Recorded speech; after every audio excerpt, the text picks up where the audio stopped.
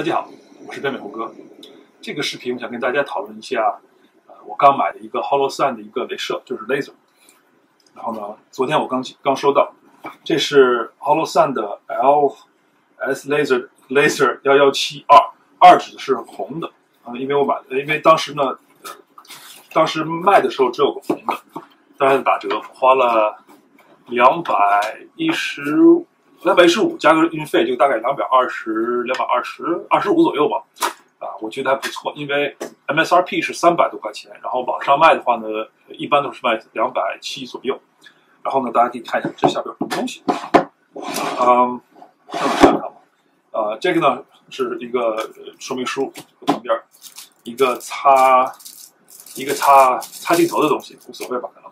然后里边的话呢，啊，就是就是这个。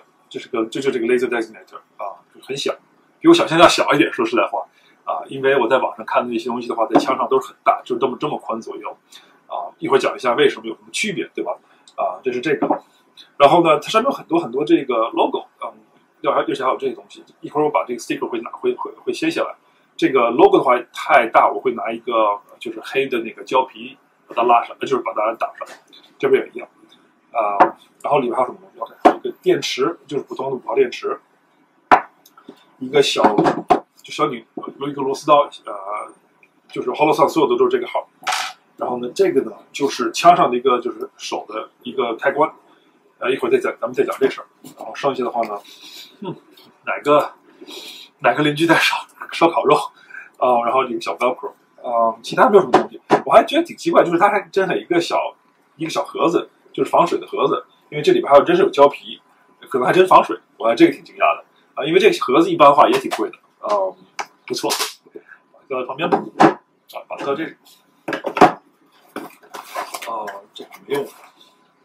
那好，咱们先说一下这个，呃，它的好处就是这个很轻，然后这个可能没拿那个没拿秤来，但是大概有三百来克，三百来克就是呃，三百来克大概十来个盎司不。网上说更更轻，但八个盎司，就是就就是二百多克吧，啊，然后里边就是一个大部分的地方就是一个搁一五号电池的，啊，就搁这进去，然后是哦，前面是，啊，拧，然后拧紧了，然后这挺好，还有个就是这个帽丢不掉，拧紧了以后，啊，然后这个是就是这两个就是调上下和左右的，对吧？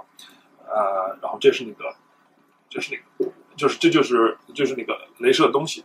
然后后面呢，就是开关，就是一个开关。然后这个所谓的叫是 remote，remote，remote moment 啊，就是就是呃，就是用这个，就是用这个开关。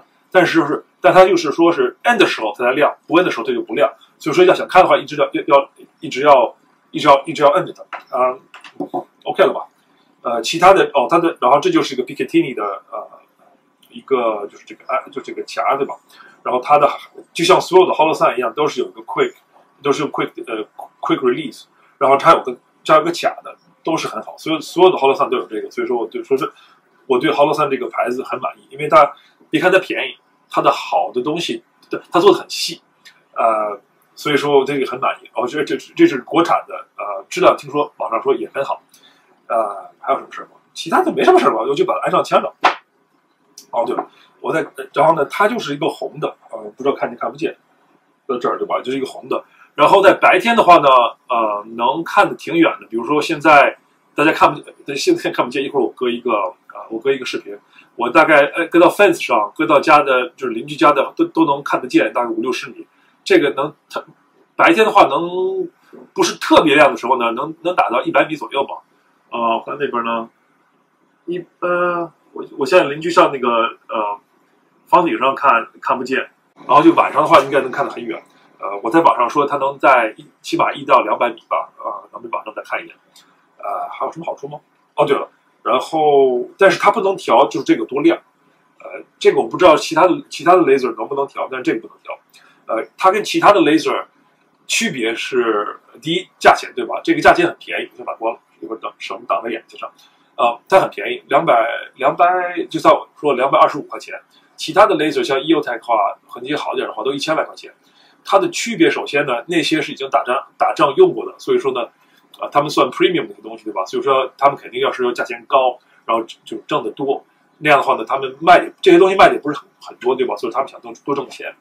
第二个的话呢，区别是啊，就是说那些的话，他们有两个，就是它有又有白天的呃 laser，然后又有红外线的 laser，就是 infrared laser，在同一个 unit 里边就有两个两个 mode，这个的话只能选一个，买的时候就要选，要不然红的，要不然绿的，要不然就是要不然就是呃红外线，所以说这个价钱和和那个大小就比其他的要小，而且价钱要便宜，大小要小。呃，那好吧，咱们先按到按到什么吧？按到枪上吧。呃，这个还是我就是前一段时间看的那个 Reiki 的枪。一般的话，前面都会有一个 backup side，然后把它搁到 backup side 的后面。但是呢因为我没有地方，所以说就把它搁到 backup，就是把 backup iron side 过来。然后它的好处就是说呢，我，先打掉。安装是非常容易，就是把打开以后呢，找到一个槽，嗯，搁到这儿吧。哎，没按上，我进去了。现在进去了以后，压一下，嗯，挺紧的吧？要是太松的话呢，可以拿这个螺丝刀拧一下，啊，但是我这已经挺紧了，可以拧拧拧一下吧。这样的话呢，就是，哦，可以，差不多了。行。然后它的好好处呢，就是说它的第二个好处呢，就是说呢。这个镭射就在枪管上边，所以说不需要调左右，只是只区别只是上下，啊，这个是很好的事儿。